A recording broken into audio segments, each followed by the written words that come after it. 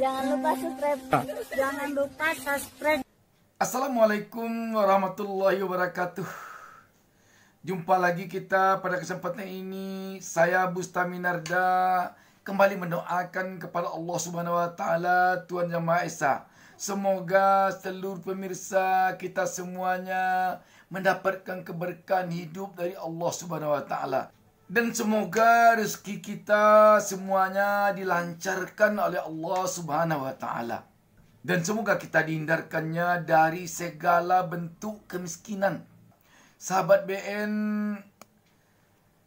di tengah-tengah kehidupan atau perekonomian masyarakat sulit sekarang ini, terutama masyarakat kalangan bawah, tiba-tiba datang aturan dari pemerintah wajib asuransi kendaraan bermotor.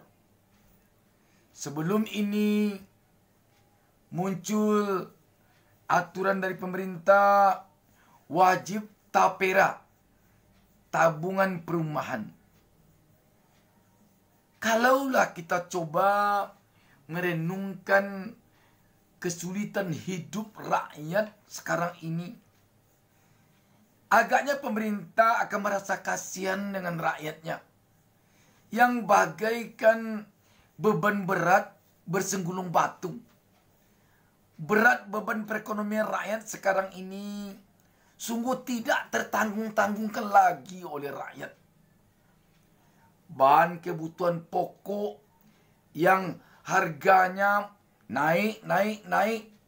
Ditambah lagi PHK yang berjadi-jadi. Namun, pemerintah kita kelihatannya menambah lagi dengan berbagai beban. Sudahlah beban BPJS yang dibayar oleh rakyat. Tambah lagi beban-beban lain. Sekarang muncul lagi wajib asuransi kendaraan bermotor. Bayangkan ojol berapa lah dapat uang dalam sehari. Tetapi dia harus bayar asuransi.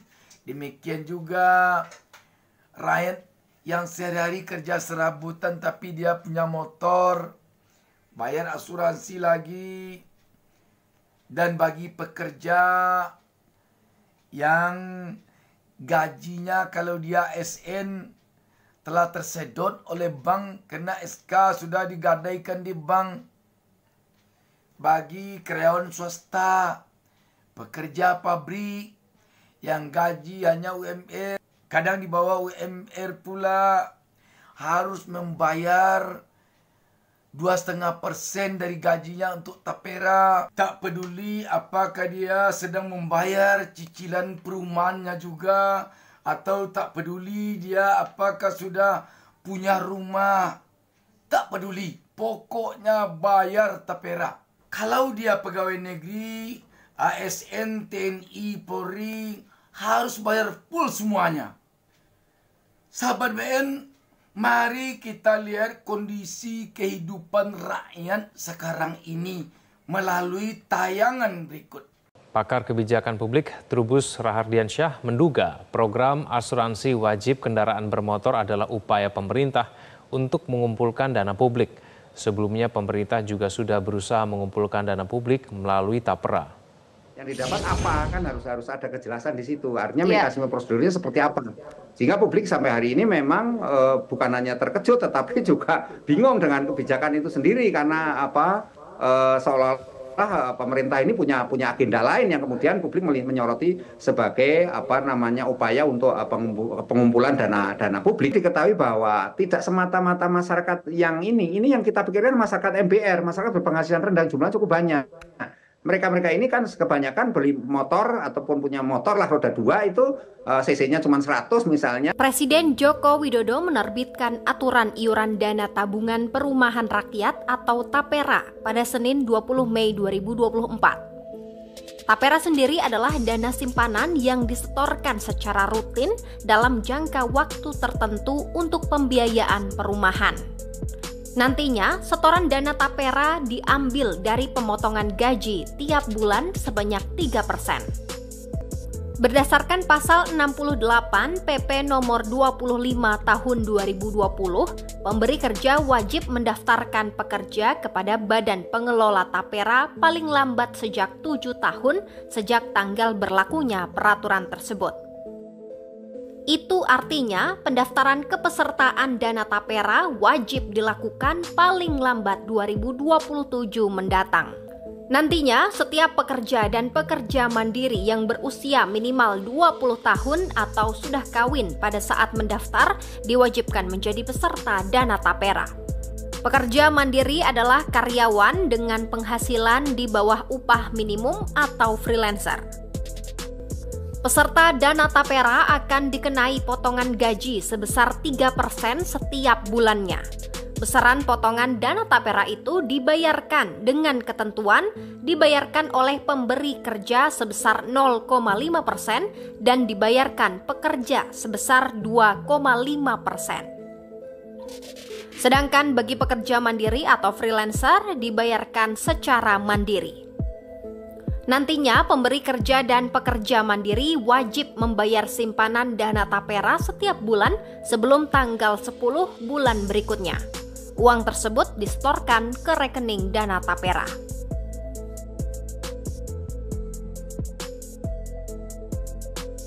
Masyarakat yang sudah memiliki rumah tetap harus ikut membayar dana simpanan tapera. Di akhir masa kepesertaan, uang yang sudah distorkan akan dikembalikan setelah peserta pensiun atau berhenti dari pekerjaan, yakni ketika berusia 58 tahun. Industri tekstil dan produk tekstil di dalam negeri tengah menjadi sorotan menyusul gelombang PHK yang terus terjadi. Mantan karyawan di salah satu pabrik di kota Cimahi, Jawa Barat mengaku hilirisasi industri menjadi imbas dari kebijakan pengaturan oleh Kementerian Perdagangan. Ribuan karyawan pabrik industri tekstil dan garmen di kawasan industri Cibaligo, Kota Cimahi, Jawa Barat harus mengalami pemutusan hubungan kerja atau PHK oleh perusahaan. Salah satunya Egi Theo, laki-laki berusia 30 tahun ini harus terkena PHK sejak 4 bulan lalu tanpa mendapat pesangon atau tunjangan apa pun. Egi mengaku lebih dari 500 orang sudah terkena PHK imbas tidak ada orderan pekerjaan ke perusahaannya. Bahkan ia menyebut hilirisasi berdampak buruk terlebih adanya barang impor dengan harga lebih murah. Nah itu salah satunya itu kurangnya order gitu gara-gara banyak uh, produk-produk impor dan mm-hmm. luar mm-hmm.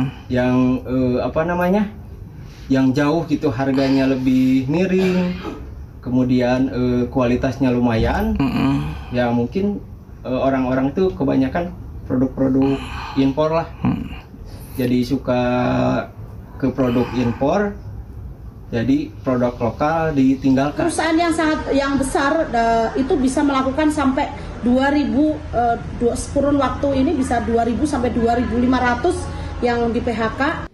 Dan akibat kenaikan HET minyak kita ini tentunya sangat berdampak pada usaha goreng-gorengan karena minyak goreng tentunya adalah uh, bahan utama ya untuk bisa uh, menjual dagangannya ya. Seperti halnya di pisang goreng kawasan Kemanggisan ini menggunakan minyak kita selain minyak goreng kemasan tapi tetap yang uh, diutamakan adalah minyak kita karena harganya yang lebih murah juga kualitasnya yang tidak jauh berbeda dengan minyak goreng kemasan ini di kemasannya masih tertera Rp14.000 per 1 liter uh, pedagang pisang goreng ini biasanya membeli di agen ukuran satu karton seperti ini isi 12 uh, kantong minyak kita uh, yang satu liter dengan harga Rp150.000 awalnya.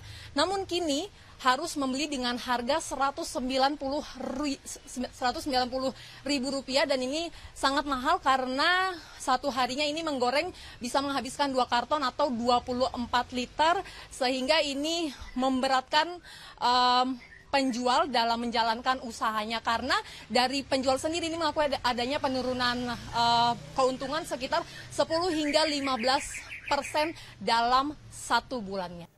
Nah, inilah secuil, ini secuil, sekelumit dari gambaran kehidupan rakyat biasa di negeri ini saat ini.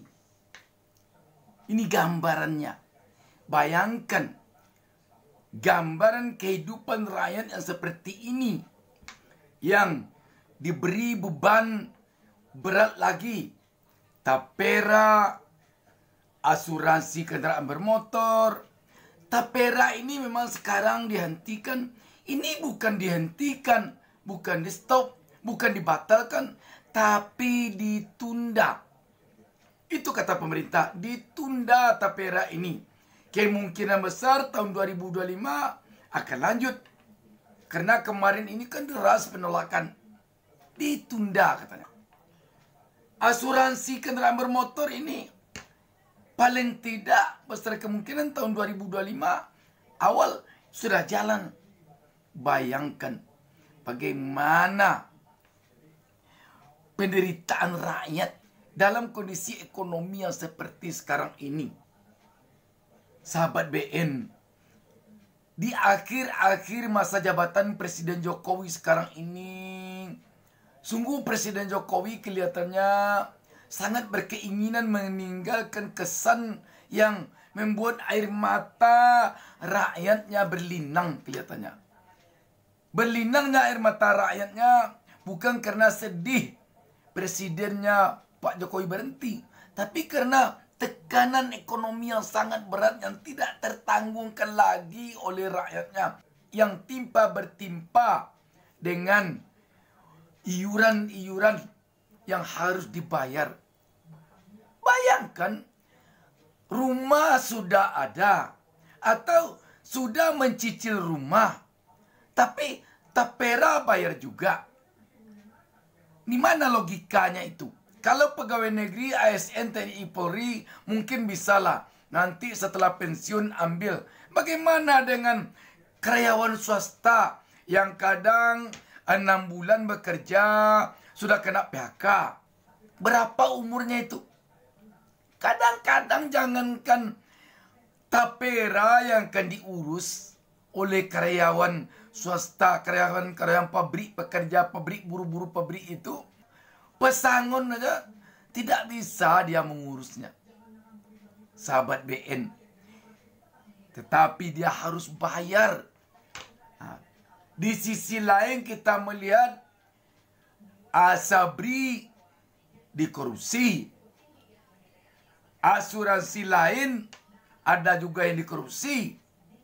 Alangkah baiknya korupsi ini yang dihapuskan oleh pemerintah ini korupsi yang ratusan triliun itu dihapus. Alangkah baiknya. Korupsi timah 300 triliun. Korupsi emas berapa triliun pula itu. Dan berbagai korupsi lainnya. Harusnya pemerintah memang tidak ada toleransi terhadap korupsi. Tidak ada toleransi.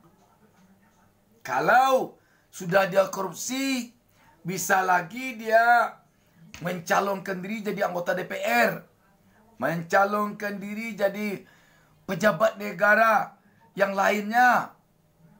Apakah gubernur, bupati, wali kota. Kalau begitu juga korupsi. Cara penanganannya. Apalagi kalau penegak hukum seperti KPK, seperti sekarang gayanya ketua KPK-nya sendiri tersangka kasus korupsi. Pejabat yang diperasnya sudah meringkuk dalam penjara sekarang. Mantan Menteri Pertanian Sahrul Yassin Limpo yang diduga memeras melenggang-lenggang saja di luar. Itulah harusnya yang diperketat oleh pemerintah. Jangan rakyat juga yang dibebani. Sahabat BN, di akhir pertemuan ini saya ingin mengajak sahabat BN Mari kita berdoa kepada Allah Subhanahu wa taala. Semoga para pemimpin kita ini diberi petunjuk oleh Allah ke jalan yang benar sehingga dia benar-benar pro kepada kita rakyat ini di dalam memimpin, di dalam menjalankan amanah rakyat. Demikian wassalamualaikum warahmatullahi wabarakatuh.